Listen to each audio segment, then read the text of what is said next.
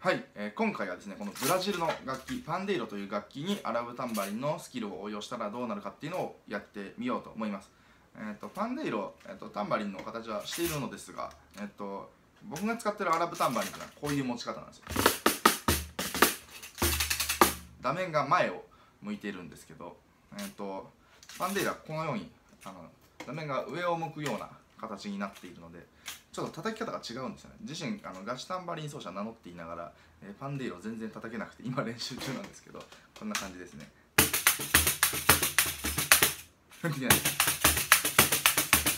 こういう感じの叩き方をします、えー、とこうだね。やるんですけどちょっと今回はですねそのパンデイロを違う持ち方双方で叩いてみたらどうなるかっていうのをやってみようと思います。それではですね、えー、パンデイロにアラブタンバリンのスキルを応用するとどうなるかやってみましょう。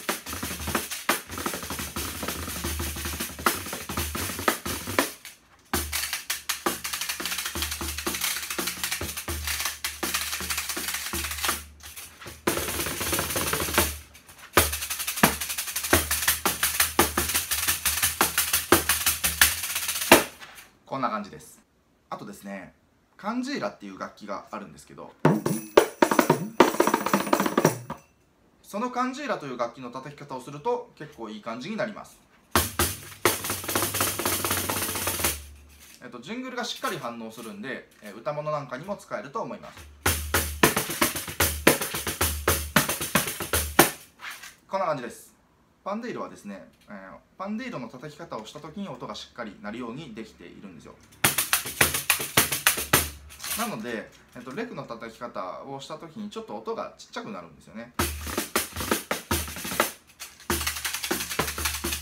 なるんですけど演奏のバリエーションとしては大いにありだと思います。とても面白い楽器であのパンデイロの叩き方もものすごくあの奥が深くてですね僕はまだあの全然できないんですけど練習中なんですけどパンデイロの叩き方と合わせてアラブタンバリンの叩き方の応用もできたら多分すごくあの演奏が広がると思います。イタリアのタンバリンの叩き方なんかも応用できるので